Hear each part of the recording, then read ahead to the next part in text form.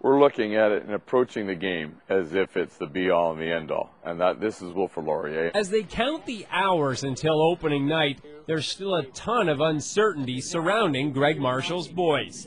Due to the injury to star Nathan Riva, the team that hits the field for week one is not the one the coach expected to field a week ago. We're pretty good on defense. So the one thing about our defense is that you know we return some very good players. You know we're good enough and deep enough at running back that we can overcome not having Nathan play this game on Wednesday, and that uh, you know we can uh, you know we're good at receiver. We can you know mix it up and throw the ball a little bit too. While they are still trying to shake off the rust, the Stangs did get some game action in, albeit preseason.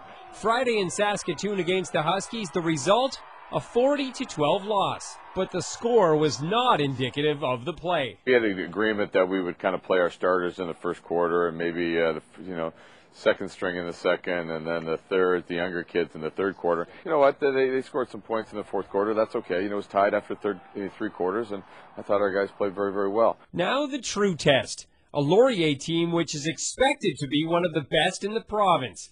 They picked up some players from Waterloo, which makes them a combination of two teams into one.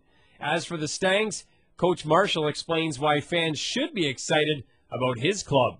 You know, we recruit across the country. We've got players on our team from Vancouver. We've got players on our team from Halifax. But the best players on our team come from the London and London area. We've got exciting football in London. Uh, we're going to do different things on offense, and I think we're, we'll have a defense this year that will swarm to the football.